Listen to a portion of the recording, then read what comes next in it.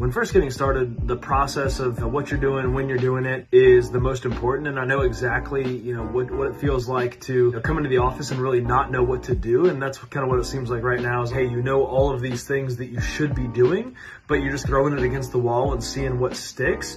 And, you know, there is some of that in this business, but to do it um, in a structured approach, like really have discipline so you can do it consistently. Because if you cold call really good for one week or, you know, for two or three days, that's great. But the consistency to do that, uh, along with some other alternative business development strategies, um, but weaving those in and having the discipline to do those time and time again. Because that's the biggest thing. If, you know, when you're first getting started, is like, hey, you know the good things to be doing, but to put them in a structured approach and have the discipline to hit those week over week over week and do that for months, that's when you really start to see results.